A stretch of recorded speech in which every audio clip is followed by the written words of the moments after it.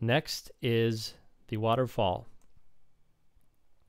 The waterfall is in relation to the music.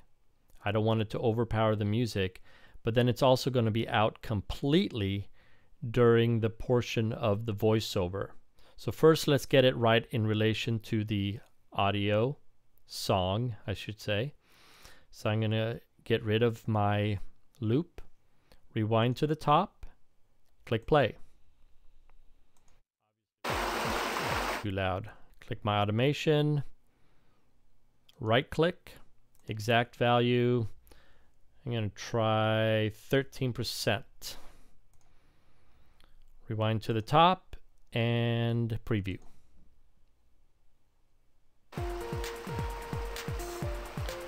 Let's get the video out here so I can see that too.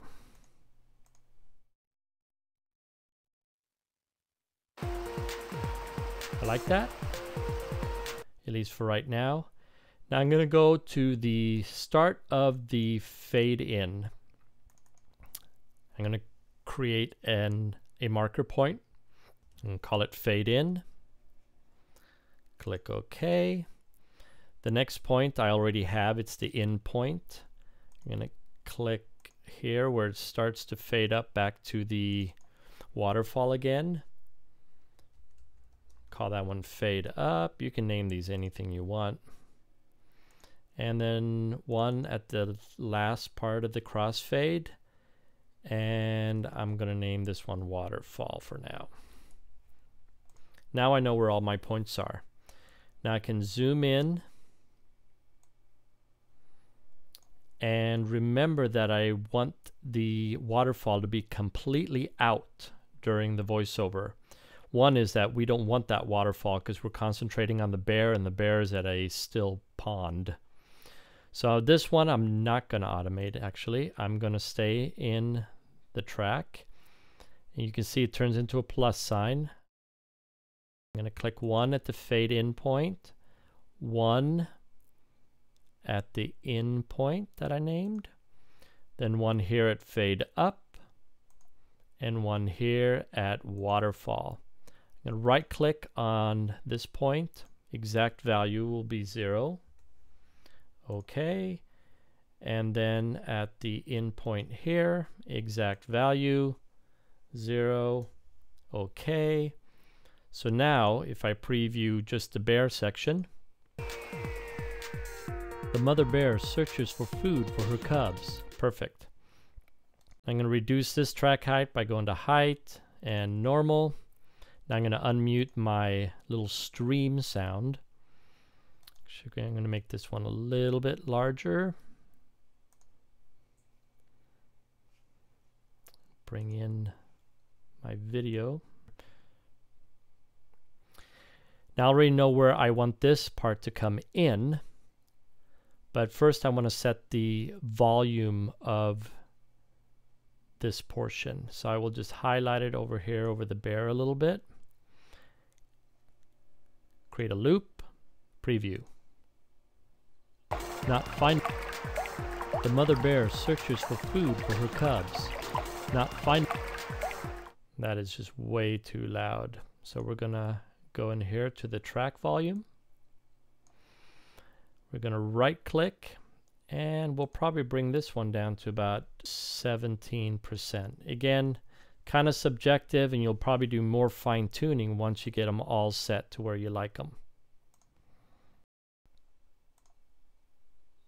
Searches for food for her cubs.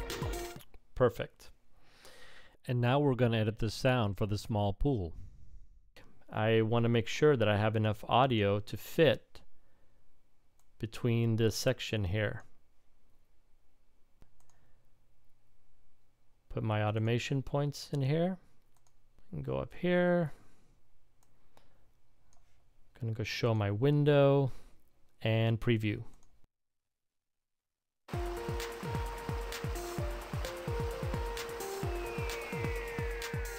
The mother bear searches for food for her cubs. Not finding any, she retreats to look elsewhere. Actually, that annoys me a little bit. It's still a little bit too loud. So I'm going to go to my automation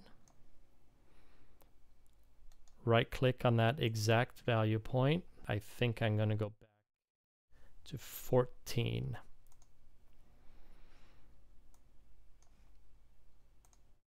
Click the automation point to close that. Go back to my normal height size. And finally, we got the birds chirping. Unmute that. I only want the birds during the section of the voiceover, so I'm going to highlight that, push the loop, and preview.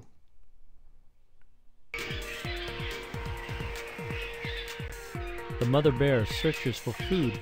Right now it sounds like a bird farm. So we're going to reduce that. I'm not quite sure how low to go, so I'm going to try 25%. Not finding any, she retreats to look elsewhere. The mother bear searches for food. Ah, I like that. So here are my basic edits.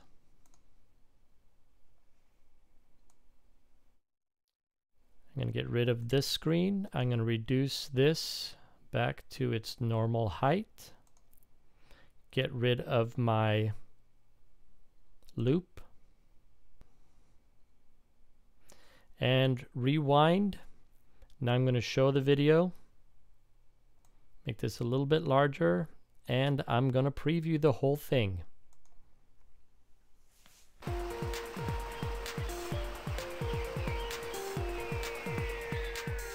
The mother bear searches for food for her cubs.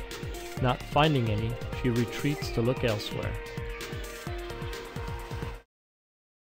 I like everything except I can hear the birds throughout the whole thing. So we're going to go back and do what we did on the previous tracks. I'm going to make this a little bit larger.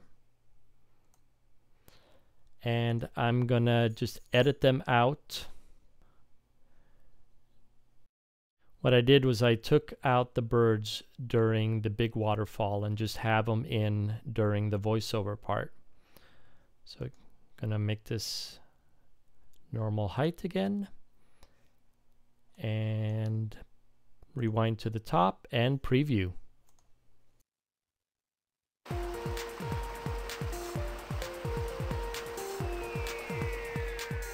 The mother bear searches for food for her cubs. Not finding any, she retreats to look elsewhere.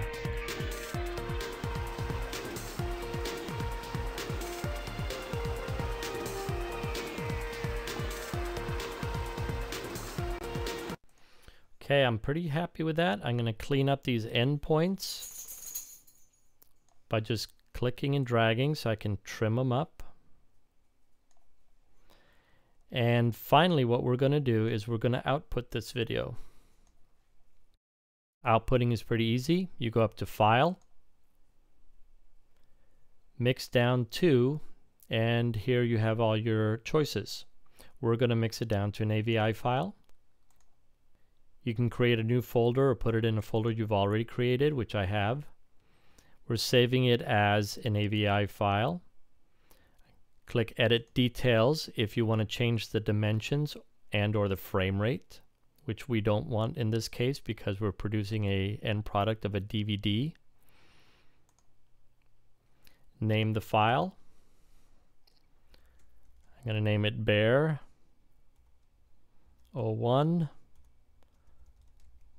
close up and just push save. Mixcraft will render the movie for you and output the final product.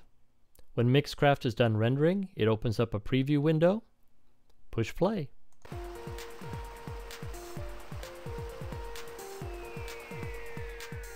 The mother bear searches for food for her cubs. Not finding any, she retreats to look elsewhere.